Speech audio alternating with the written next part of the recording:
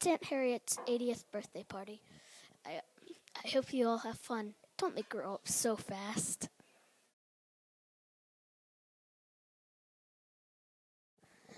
Okay, so what is your first memory of Aunt Harriet? My first memory of Aunt Harriet. I think she said, Welcome, and what would you like to eat? What's, would you like chicken or chicken? I think is my first memory of Aunt Harriet.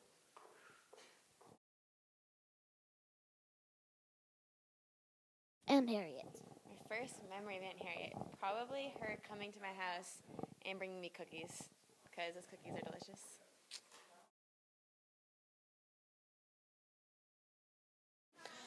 Okay, so I have been asking a bunch of other people, what is your first memory of Aunt Harriet? And since I can't really ask that to you, I want to ask, um, is there anything that you would say? I am so happy that you are here, Liam, Yay! and uh, to share this special day. It's really a very special birthday. It's really, uh, I'm, I'm very, very happy. And, and thank you. And I'm really uh, lucky to have you for my uh, grand nephew.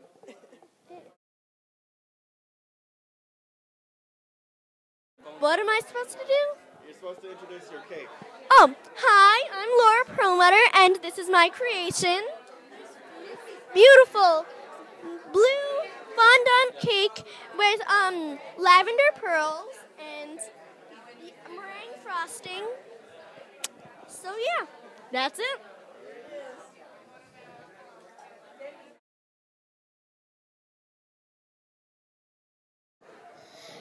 Grandpa, what is your earliest memory of Aunt Harriet?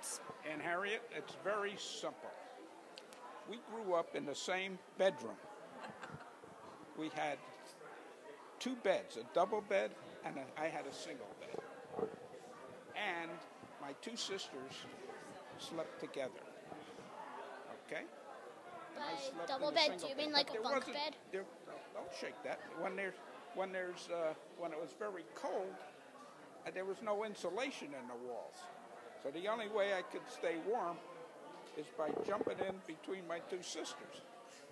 Okay, that's my earliest recollection. What's the next question? Was that a good story, Dave? That's a very good story. I hadn't heard that one before. Do you mean like a bunk bed? What's that? Do you mean like a bunk bed, double bed? No. Oh. I had a bed that had sides on it. They didn't want me to fall out. But when I got older, I wanted to be a big boy, so I, I took the sides off.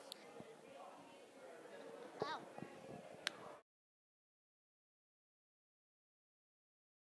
Eyes here. Okay. Okay. What is your earliest memory of Aunt Harriet? My earliest memory of Aunt Harriet is coming out to Huntington, Long Island, and her being very surprised that I played soccer in work boots. And she's like, We need to change this and get you a pair of sneakers. nice, huh?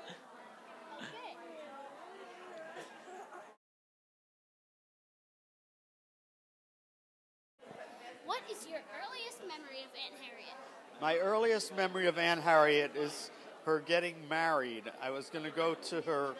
Uh, I, I, she was getting her wedding dress fitted, and I wanted to go to the wedding, but I was a little kid, and they um, they told me that I couldn't stay in the room anymore while she was getting changed, and not only that, I couldn't go to the wedding, and I cried, and I was four years old. That's my earliest memory. Okay, and I have another question. Have you made a puppet of Aunt Harriet? I have not made a puppet of anyone in our family. Aw, that I don't. I don't usually do that kind of thing. If he really wants it.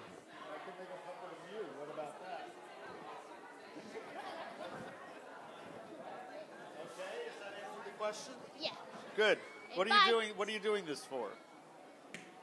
Him? Oh, okay, good. What is your earliest memory of Aunt Harriet? Right now. Okay. Good question. And I have another question for you. Can you stop going "Uh, uh," throughout the throughout the interviews? No. Okay.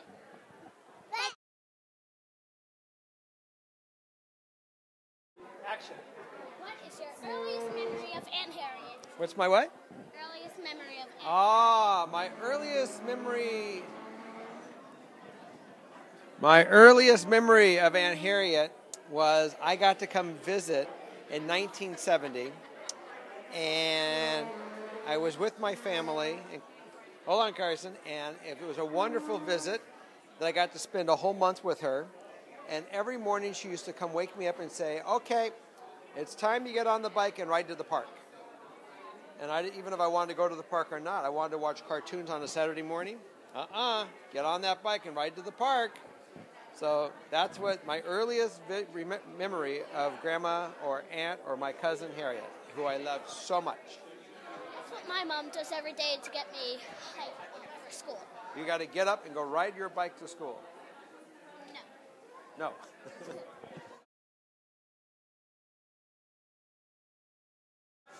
What is your earliest m- memory of Aunt Harriet? My earliest memory? Wow, I have to think way back for that one. Um, I'm sure I could remember earlier, but something that's coming to mind right now.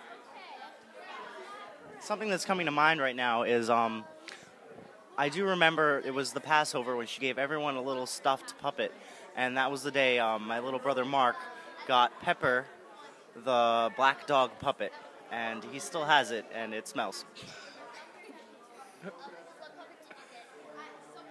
I actually don't remember. I don't think I got a puppet. I think I, I was a little older, so I got a more serious gift. Did anybody get a monkey? Oh, I'm sure. Yay! Do you like monkeys? Me too.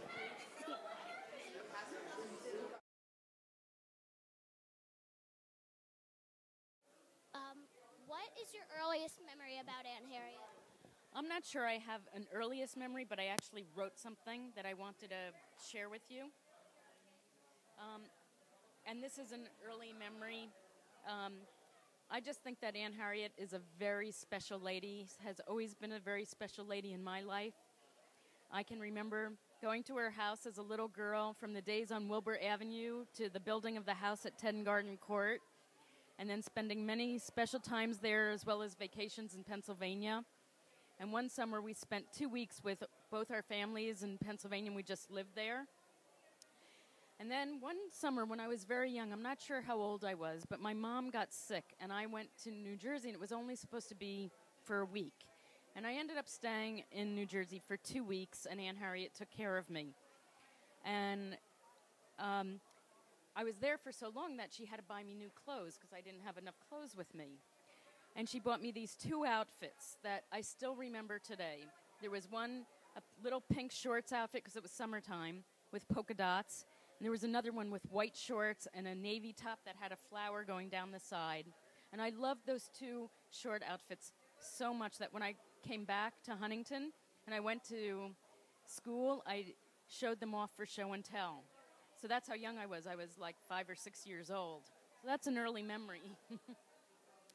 um, anyhow, what I want to say about this, even though I'm talking about what Aunt Harriet did for me and my clothes, um, that the clothes made me feel special. And Aunt Harriet buying those clothes made me feel special.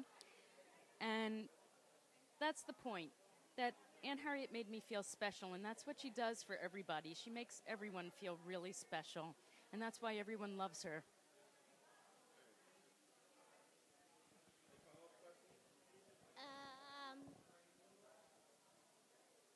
You buy you any other outfits? Because two outfits for a whole week is kind of. You know, not that time, but she, when I got older, I was about 30 years old. Aunt Harriet bought me an Ungaro dress, a designer dress. I loved that dress. I wore it until it fell apart. It fell apart but from moth moths. Because I wore it Oh.